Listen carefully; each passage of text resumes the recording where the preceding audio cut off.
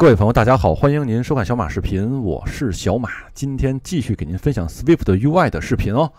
啊，不过在分享之前呢，首先我还是先感谢一下能够开通我 YouTube 频道会员的朋友们，您的支持呢是小马一直做下去的动力哦。啊，真的是非常的感谢。好，那咱们开始今天的主题，什么内容？大家请看我的标题哦，访问环境对象 at environment object。嗯，今天我给您采用的这个工程呢，是上一期的工程，咱们直接拿过来哦。嗯，上一期是什么内容？上一期呢，咱们定义了一个全局的类，对吧？咱们看一下，咱们定一个全局的类，然后呢，咱们呢在咱们整个应用程序启动时给它做的实例化，然后呢，在咱们整个这个 View 页面启动时呢，把这个数据呢注入进来，对吧？那么，如果咱们这个 view 还有些子 view 的话，咱们又想让这个子 view 应用到全局数据，咱们会这样的一步一步的注入，一步一步的使用，这样的话会非常麻烦。也就是说，咱们一个全局类会要把它传给任何要引用它的 view，咱们会一层层传下去，增加咱们的代码量，对吧？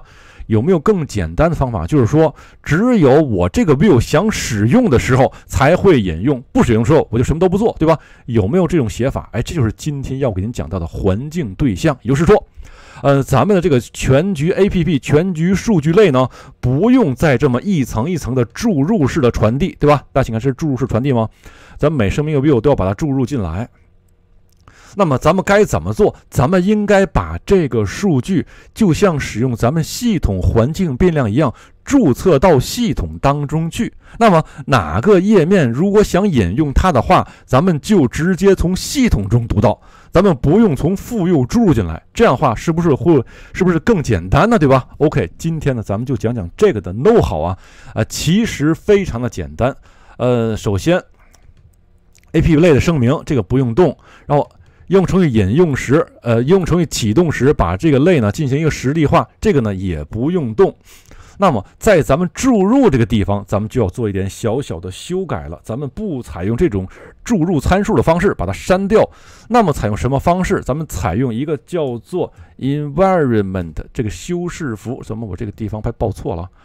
稍等啊，咱们这个是 environment，我把它拼对了的啊，environment，然后是 object，在这个地方，咱们把这个代理的 APP 数据传给他就行了。也就是说，咱们把这个全局的 APP data 变成一个环境变量。这我这我看拼对了吧？Environment 没问题啊。OK，这样的话，呃，咱们这个 view 呢就不用再去我注入这个对象，我才能够引用到它。这不用了，为什么？因为咱们的全局 APP data 已经变成了一个环境变量，对吧？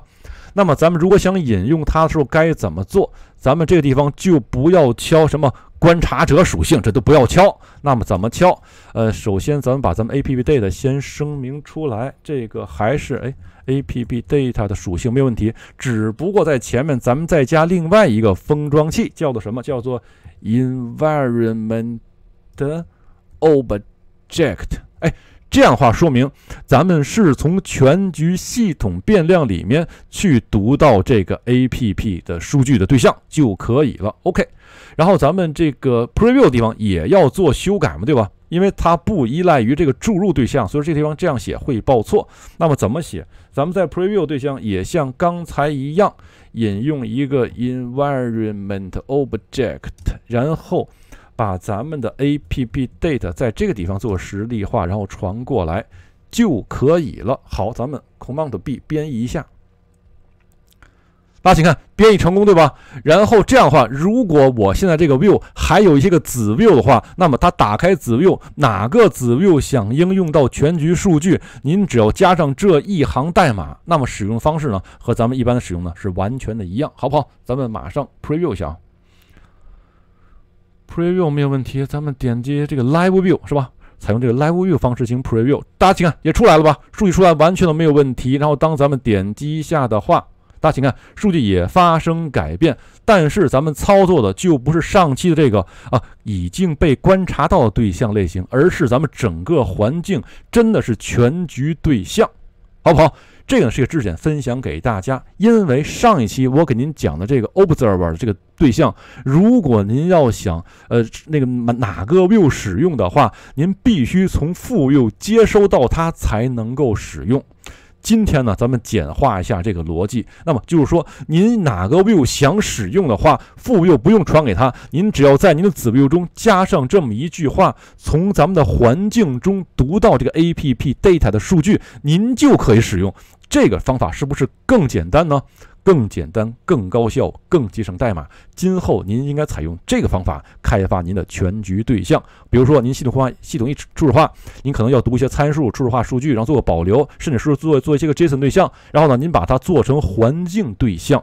那么您进入在哪个子 view 中，比如说您有一个这个设置 view，对吧？系统设置 view 在里面做一些改变的话，您就直接引用到这个环境变量，哎，就能够改变您整个系统的设置。而且您改完之后呢，马上对其他的参照 view 都是同时生效，完全的没有问题，好不好？今天这个知识点呢，非常的重要，推荐给大家。OK。啊，以上就是今天给您讲解的，咱们如何访问环境对象，如何设置且访问环境对象的方法，希望您呢能够掌握。我今天的代码呢都会放到我的 GitHub 上去，有兴趣朋友您就参照一下吧。好，那这个视频就给您分享到这里，谢谢您的观看，咱们在今后的视频再见吧，拜拜。